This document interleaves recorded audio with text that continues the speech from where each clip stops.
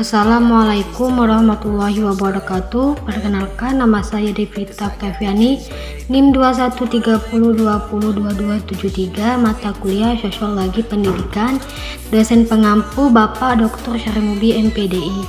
Baiklah, di sini langsung saja saya jelaskan Pendidikan modernisasi. Modernisasi dalam bidang ilmu pengetahuan dan pendidikan adalah diterapkannya cara baru dalam aktivitas belajar dan sumber pelajar dengan memanfaatkan teknologi. Tujuan modernisasi pendidikan Modernisasi di bidang ilmu pengetahuan dan pendidikan akan mendukung peningkatan kemampuan sumber daya manusia yang berkualitas dan mampu berdaya saing. Dengan modernisasi di bidang ilmu pengetahuan dan pendidikan menjadikan suatu bangsa dapat mengejar laju pertumbuhan kemajuan bangsa lain. Dampak modernisasi Dampak positif modernisasi terjadi perubahan pada tata nilai serta sikap. Perubahan ini terjadi karena masyarakat terbukti memiliki pola pikir yang berubah. Dari pola pikir irasional berubah menjadi rasional. Dampak negatif modernisasi mengakibatkan terjadinya kesenjangan sosial.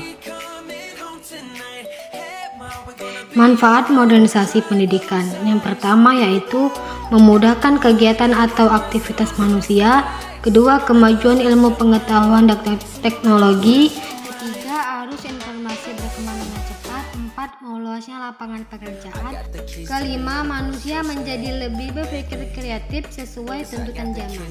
Contoh modernisasi pendidikan, adanya fasilitas e-learning atau pembelajaran melalui jaringan internet, digitalisasi ujian dan ulangan menjadi exam seperti pengadaan ujian nasional berbasis dengan komputer.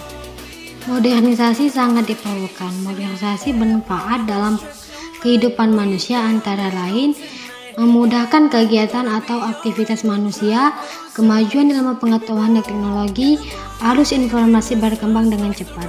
Faktor-faktor modernisasi adanya penemuan baru di bidang iptek, kemajuan perekonomian, majunya di bidang industri dan pertanian, tercapainya stabilitas nasional perkembangan di bidang politik. Gejala modernisasi dalam bidang politik. Gejala modernisasi di bidang ilmu pengetahuan dan pendidikan salah satunya ditandai dengan banyaknya penelitian yang menghasilkan banyak cara dan metode sebagai usaha kemajuan pendidikan. Selain itu juga tampak pada penggunaan teknologi dan infrastruktur modern sebagai sarana penunjang pendidikan.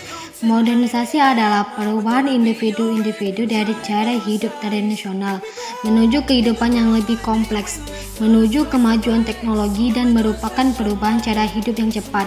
Pendidikan merupakan usaha pengembangan kualitas diri manusia dalam segala aspek. Baiklah, itu saja yang saya dapat saya sampaikan. Wabillahi taufiq walhidayah. Wassalamualaikum warahmatullahi wabarakatuh.